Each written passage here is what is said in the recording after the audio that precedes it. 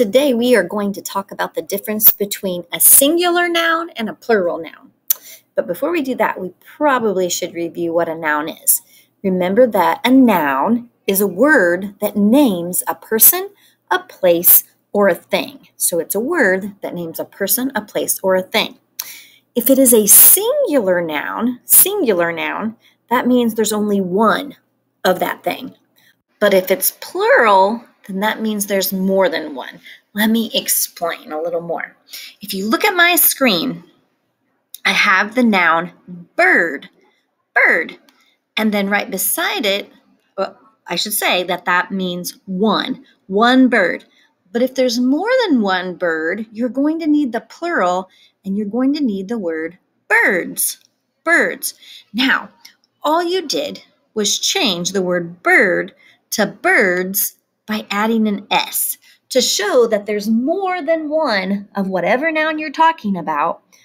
You can add an S for regular nouns. And we'll talk more about that later. So let me give you another example. This next word is the word book. Book.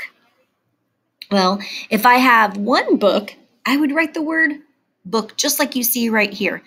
But if I had more than one book, I would need to add that S. So now I have books. Books. Let's look at our next word. It's the word cat. Cat. Now, the word cat means there's only one. But if you have more than one cat, you'll need to add the S to make the plural cats.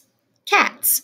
So one cat is singular, more than one cats is plural.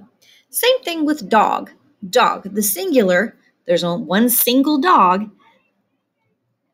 And but if there's more than one, you'll need the plural, you'll need to add the s to make dogs. The plural simply means there's more than one. Could be 2, it could be 500, but it's just more than one. All right, one more example, and that is pen, like a pen that you write with. Now, if you only have one pen, you'll need the singular version, pen. But if you have more than one pen, you'll need to add that S and make the plural version pens. Pens. Now, I'm going to give you a job to do. You are going to be taking the singular of a word and changing it to the plural.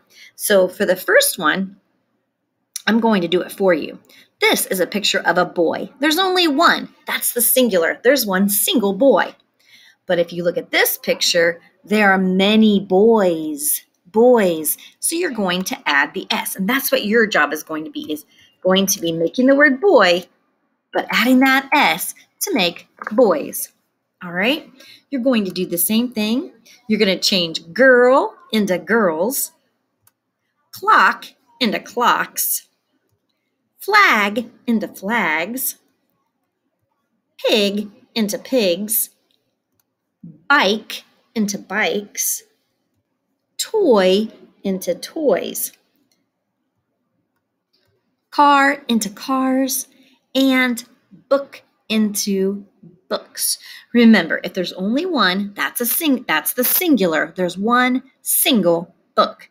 But if there's more than one, two or more, then it's going to need to be books with an S on the end. All right, I think you're ready to try this assignment. It's pretty easy to do. Like I said, changing from singular to plural in regular nouns just means you're adding the S to the end.